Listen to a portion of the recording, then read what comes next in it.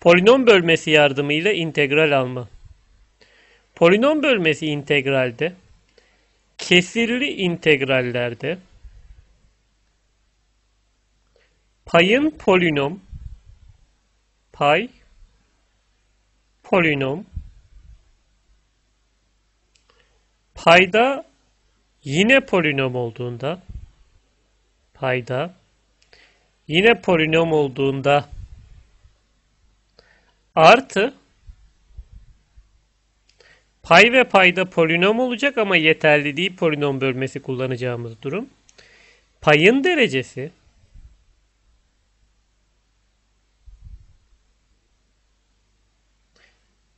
büyük ve eşit paydanın derecesi olduğunda polinom bölmesi kullanılır.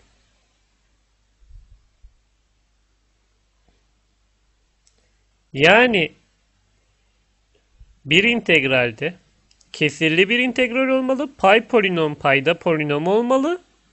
Artı payın derecesi paydanın derecesine eşit veya büyük olmalı. Bu iki şartın bu iki şartın sağlandığı integraller sağlandığı integrallerde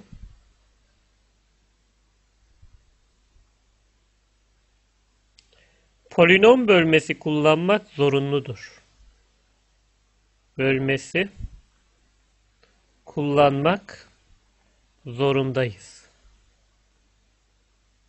Aksi takdirde bu integrali alamayız. Şimdi bu durumu sağlayanlara örneklere başlayalım.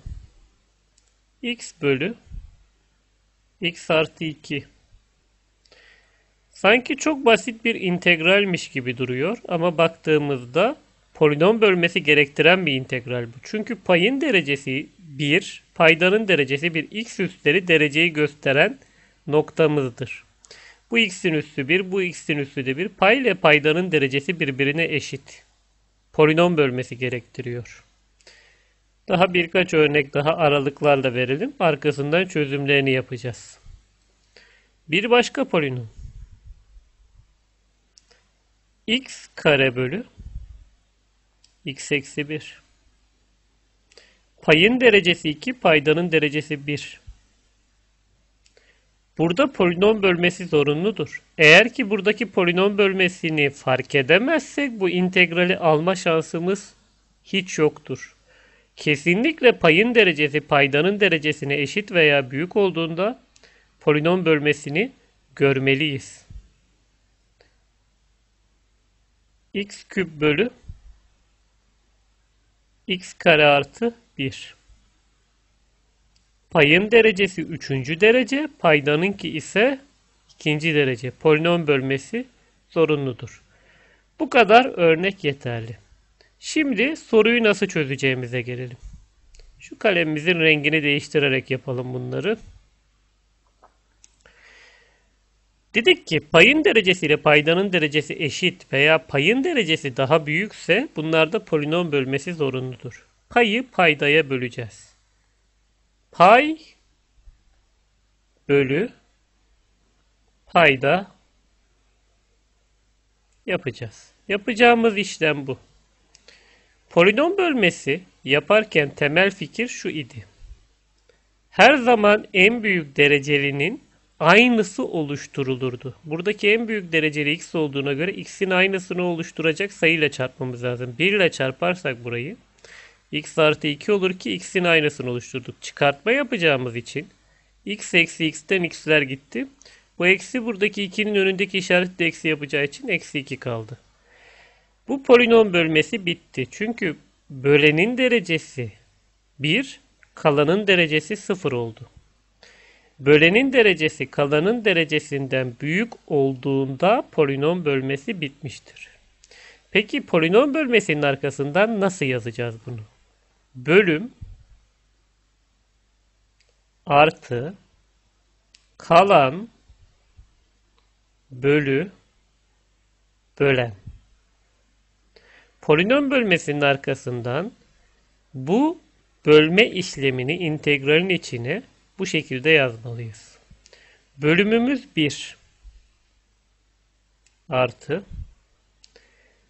kalanımız eksi 2 bölü bölenimiz ise x artı 2. 1'in integrali x olur. Eksi 2 bölü x artı 2'nin integrali ise sayı bölü birinci derece polinom olduğunda bu integralin sonucu elendir. Eksi 2 elen x artı 2 artı c bu integralimizin sonucu olur. İkinci örneğimize geçersek pay kısmında x kare payda kısmında ise x eksi 1 görüyoruz. Payın derecesi paydanın derecesinden büyük olduğu için polinom bölmesi zorunludur. Payı alıp paydaya bölüyoruz. Her zaman en büyük derecelinin aynısı oluşturulmalıdır. Burayı x ile çarparsak x kare oluşur. x kare x ile eksi 1'i çarparsak eksi x. Çıkartırsak x kareden x kare çıkınca birbirini götürür. Bu eksi buradaki eksiyi artı yapacağından dolayı x kalır.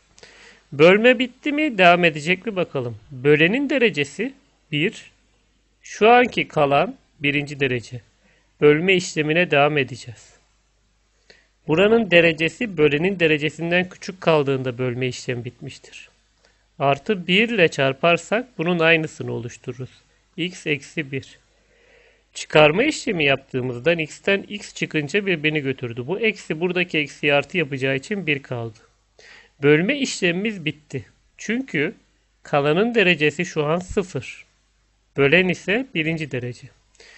Polinomun iç, integralin içine polinom bölmesinin sonucunu yazalım. Önce bölüm. Bölüm burada x artı 1. Artı kesir çiziyoruz. Kalan paya bölen paydaya. Şimdi bunun integrali alınabilir. integrali alınabilir. X'in integrali üstünü bir arttırıp oluşan üste bölüyoruz. X kare bölü 2. Artı 1'in integrali x artı sayı bölü birinci derece fonksiyonların integrali elendir. Elen x eksi 1 artı c. Bu integralin sonucunu da böylece bulmuş olduk.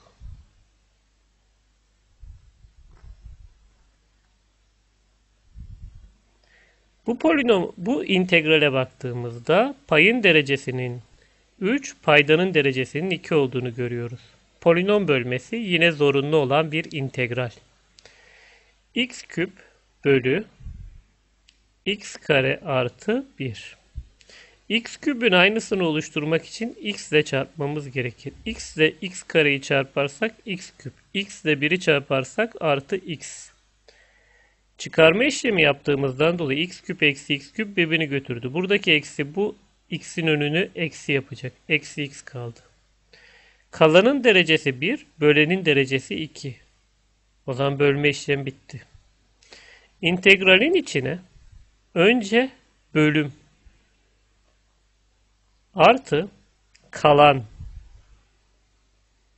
bölü bölen dx yazdık. Buradaki x'in integrali x kare bölü 2'dir.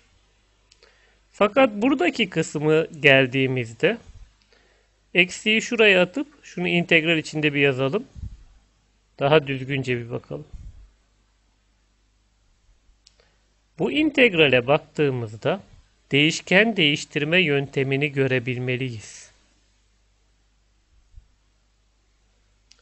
Paydaya u dediğimiz zaman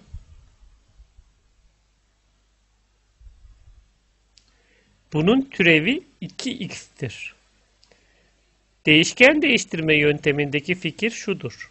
Bir şeye u dediğimizde u'nun türevi eğer ki dx ile çarpma durumunda ise değişken değiştirme uygulanabilir. U dediğimiz şey x kare artı 1. Bunun türevi 2x. Şimdi bazıları diyebilir ki 2x yok burada. x var. 2 ile çarpar. Bir de integralin başına 1 bölü 2 koyarız. Bunlar normalde birbirini götürüyor. Şimdi buradaki 2x dx du oldu. Devam edelim integralimize. x kare bölü 2 eksi 1 bölü 2 integral içinde 1 bölü u du oldu. x kare bölü 2'yi olduğu gibi yazarsak eksi 1 bölü 2 1 bölü u'nun integrali ln u artı c olur. U dediğimiz şey x kare artı 1'de en sonunu da getirip yazarsak x kare bölü 2 eksi 1 bölü 2 ln x kare artı 1 artı c olarak integralimizin sonucunu buluruz. Polinom bölmesi yardımıyla integral alma payın derecesi paydaya eşit veya büyük iken uygulanır. Bu şekilde bu integral alma yöntemimizi burada noktalıyoruz.